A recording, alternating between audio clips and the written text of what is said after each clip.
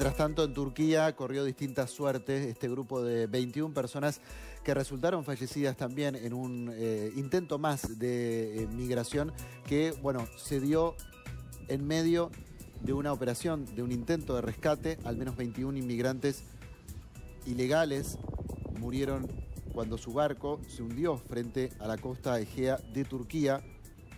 El incidente ocurrió frente a la, costa del distrito de Esiabat, en la provincia noroccidental de Caracale, cuando el barco de inmigrantes volcó y se hundió. El gobernador del lugar dijo que se está llevando a cabo una operación de búsqueda y rescate respaldada por dos helicópteros y diez botes de la Guardia Costera.